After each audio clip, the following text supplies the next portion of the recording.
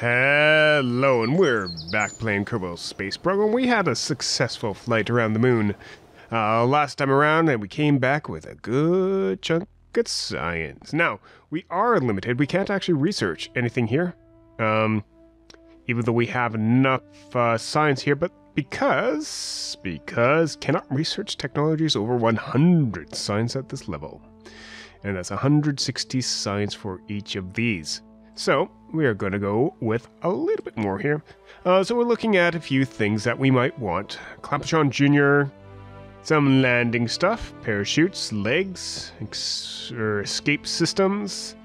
We could get lots of this. We could get more science. PresMat barometer. That actually might be pretty good for us. But, well, really, hold on. I think we might have a new version of Kerbal Space Program. Uh, this is a radiator panel. I don't remember ever seeing that before. Radial attached radiator panel to help dissipate heat into space. I'm guessing that's for re-entry? I'm not sure. Oh, here's all my stuff. I've been looking around for this uh, monopropellant for quite some time.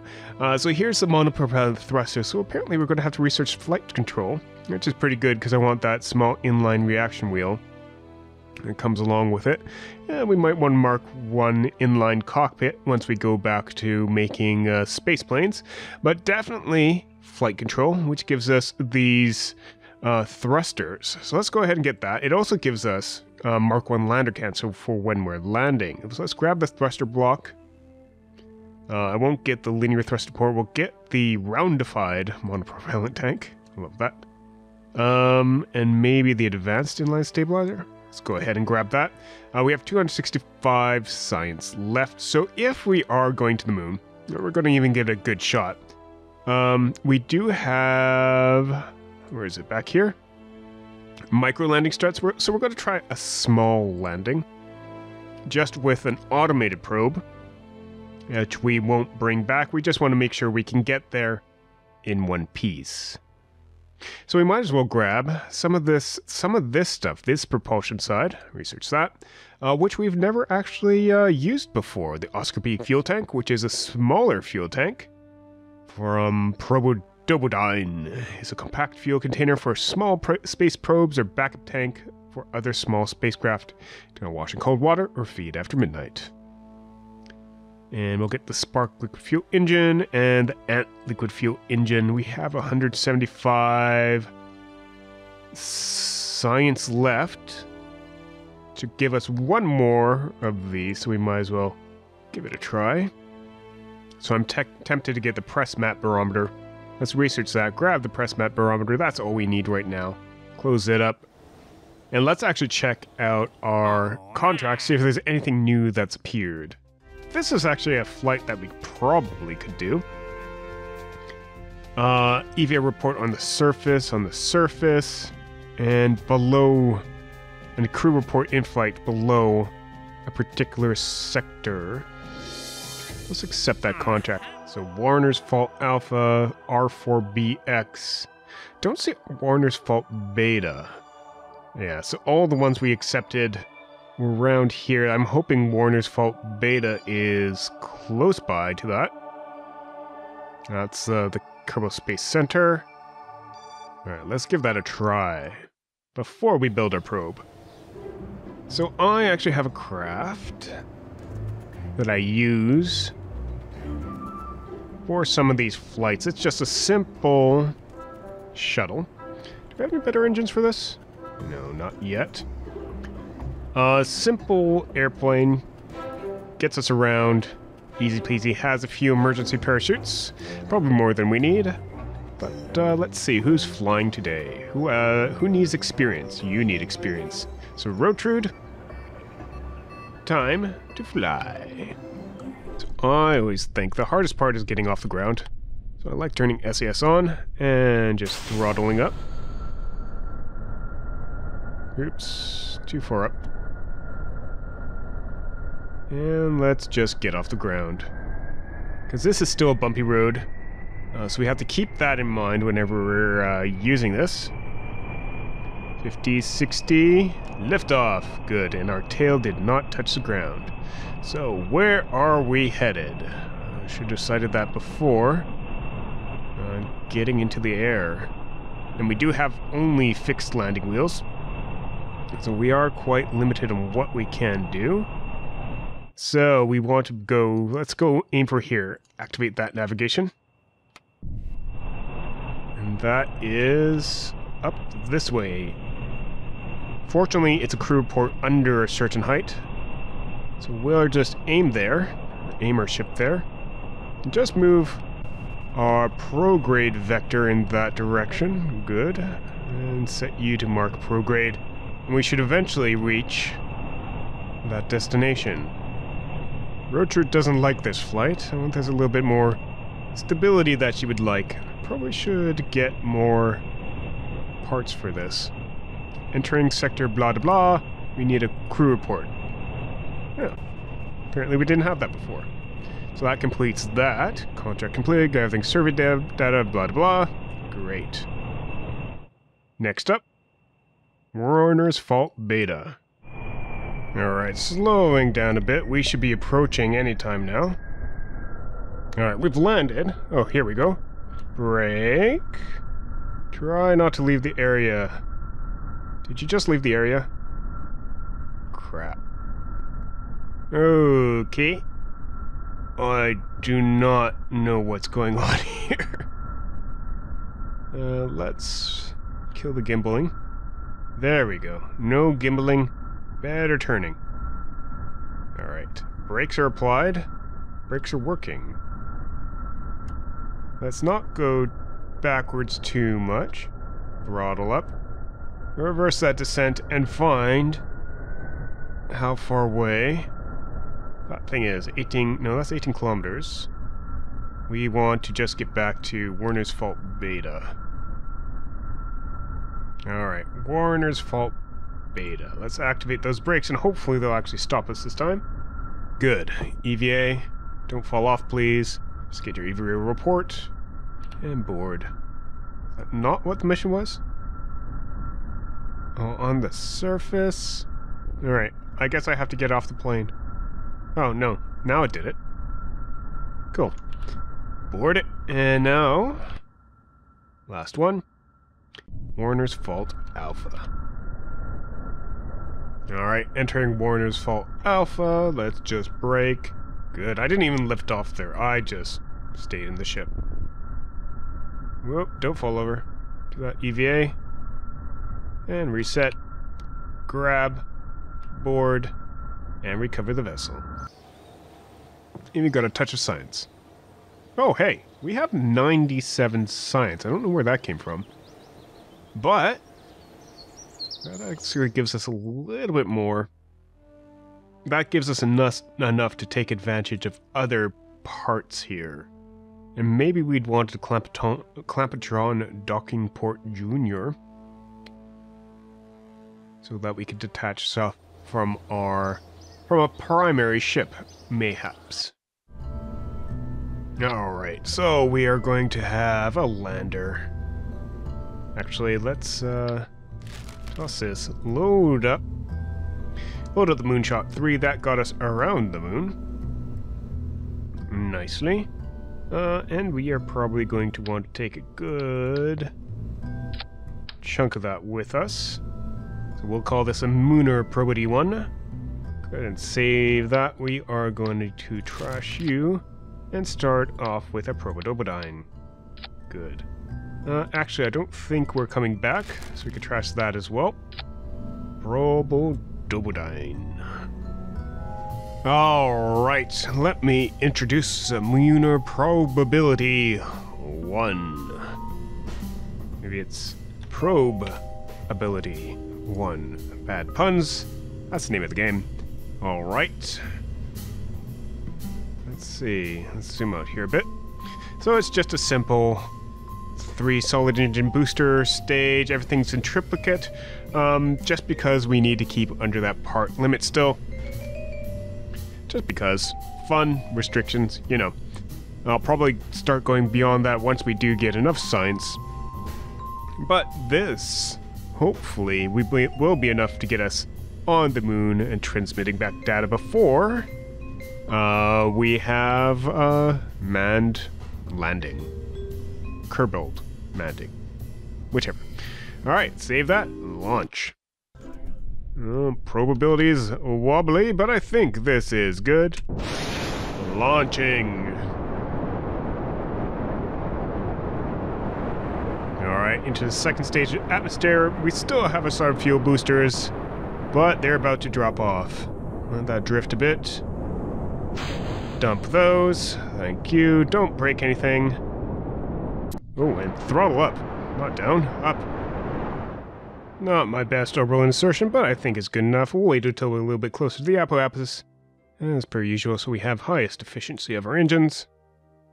And let's get within 45. That's good. And throttle all the way up. We do have to keep an eye on our inner electric charge here a little bit. And our fuel. Here goes our first stage. We actually had a pretty good run towards orbit with only our first stage, so that was nice. Alright, nice and stable, nearly 100 by 100 orbit here. Ship is doing good. Let's test some systems. You're facing good sun exposure. Did I not? Oh, good. It's like, do I not have temperature readings and stuff like that here? Barometer. Is there any is there any atmosphere in space? No. Let's transmit that data. We only get half, but you're not coming back anyways. Tests our power system quite a bit. But we are charging back up. Good. So we have a small maneuver out here just to adjust our nodes. Whoops. Come on. Warp next maneuver. Thank you very much. Don't run out of power if you wouldn't mind. There we go. All charged up. And I can't imagine that's a significant burn, though why it's not estimating the burn, I don't know. Yeah, it's less than a second burn. And I did it a bit early. Let's see. Oops, a little too far. Or not far enough. There we go. Descending node zero. Let's save that. And we should prepare very shortly to start accelerating towards the moon usually guess add maneuver right about here. Guess we should get in front of our ship. Oh, yes. Get a nice encounter. But it's a minute burn, and it is in a bit. Alright, we should start this one very shortly. It is in less than a minute. And it's a full minute burn, so we should start about 33 seconds and go. Alright, slowly approaching. Throttle down. Get back on that node. That went away from us pretty quick. Kill that. Hmm, nice. Better periapsis than I thought. Let's zip ahead. So we have a lot of fuel in this section still, I think. We'll just see how close we are to the moon and what we can do to land. And there we go. There's our periapsis. We'll probably want to slow down somewhere around here. Alright, I missed my target, but this should still be a fairly easy burn. A fairly quick burn. 10 seconds. And good. I just want to watch our apoapsis and our periapsis once it becomes that. And let's say that'll work. So we're just going to adjust once again, now that we're on the not sunny side. Uh, we want to bring our periapsis closer, now that we're pretty much opposite sun right here. And just do this manually. Should adjust where our periapsis lands. Good, that should give us a nice daytime landing, or daylight landing, or moonlight, sunlight, sunlight landing. There we go. Sunrise. Oh, too far, too far, too far, too far. What can we do? What can we do? We'll try to aim for this crater then. Add maneuver. Hopefully, it's nice and flat.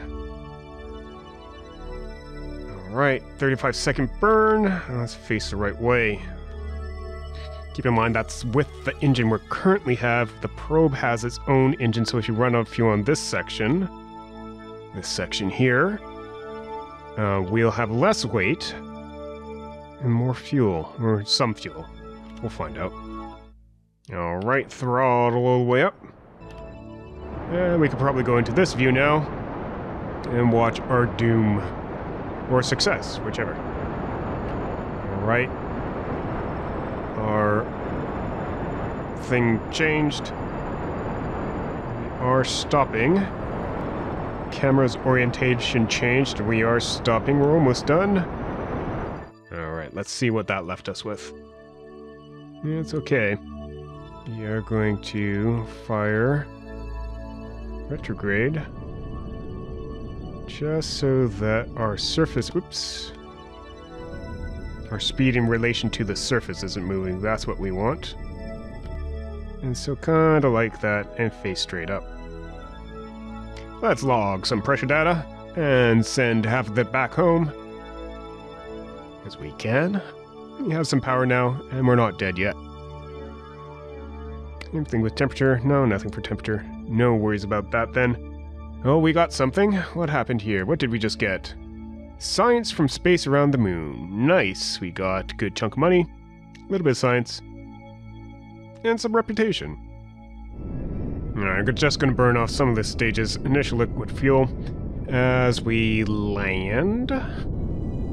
Just because we'll need to ditch the stage anyway before we do activate our gears. And this should help slow us down. Should probably put this on that stage so that we activate immediately. Hopefully we don't go off course uh, once we ditch this, because this has like 250 newtons or something like that um, of thrust. It's going to push us away quite a bit. Alright, I'm looking for my shadow here. Once we see our shadow, we should probably get rid of uh, the engine right below us. Uh, it is slowing us down, but uh, be ideal if we don't land on top of it, I think. Alright, I see our sat saddle. I see our shadow. I'm just gonna move that a bit, and I'm just going to decouple that engine and start up the spark. And we don't want to be heading upwards, thank you very much. Say goodbye to that engine. And get our gears out. Ooh, and there's a lot... Bloody hell. there's a lot of control on this. Uh, I need to put in fine motor controls. We're going upwards. We're going downwards again. Good. Now let's just see about not crashing. Just adjusting how fast we are moving against the surface. Looks like we've got something of a slope here. It's not too bad. Let's keep us adjusting. Alright. And... Crap. Heavy-handed on the keys. Takes almost nothing. There we go. Wooey! Just landed on the moon. Let's see, what's this barometer? what does the barometer say? Insanity is doing the same thing multiple times, expecting a different result. You check the atmospheric pressure again. Anyways, land on the moon. And we just got science data from the moon. And that we, means we have successfully explored the moon. Might as well transmit some temperature data as well. Alright, we have landed on the moon with a nice little probe. Let's see if next time uh, Valentina could do it. This has been Mobius Rex from Mobius Archives. Thank you very much for watching. If you enjoyed the episode, leave us like, leave your comments and suggestions. See you next time. Have a good day and a wonderful night. Bye bye.